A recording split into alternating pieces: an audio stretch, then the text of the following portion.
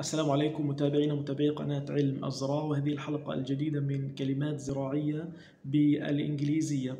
آه، كلمتنا ومصطلحنا لهذا اليوم له علاقة بالإنتاج الحيواني فالمعنى باللغة الإنجليزية lamb fattening lamb fattening والمعنى باللغة العربية هو تسمين الحملان أو الجديان.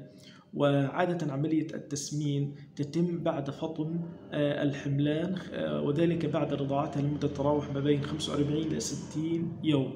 وتكون في هذه المرحلة وصلت إلى وزن يتراوح بين 16 إلى 18 كيلو. فتتم عملية التسمين بطريقتين. الطريقة الأولى التسمين على الأعلاف الخضراء أو داخل المراعي آه، الخضراء حيث يوضع آه، ثلاثة حملان في الدنم آه، الواحد. تتغذى على الأعلاف الخضراء طوال فترة التسمين التي تتعدى الست شهور وقد تصل إلى سنة واحدة.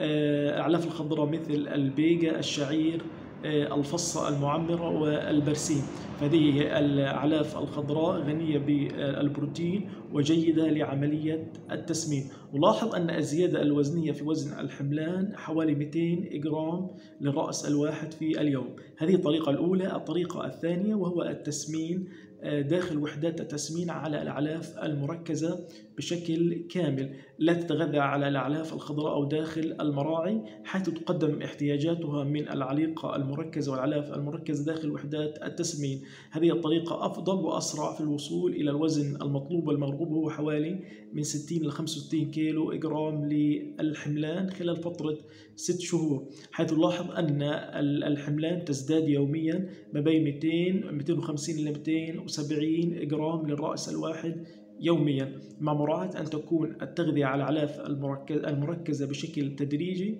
تبدأ من 20% ثم تنتهي إلى حوالي 70% في نهاية مرحلة التسمين. إذا أعجبتك هذه المعلومة وهذا المصطلح الجديد فيسعدني الانضمام إلى قناة علم الزراعة وتفعيل زر الجرس كي يصلك كل جديد. كان معكم المهندس مالك أبو قناة علم الزراعة.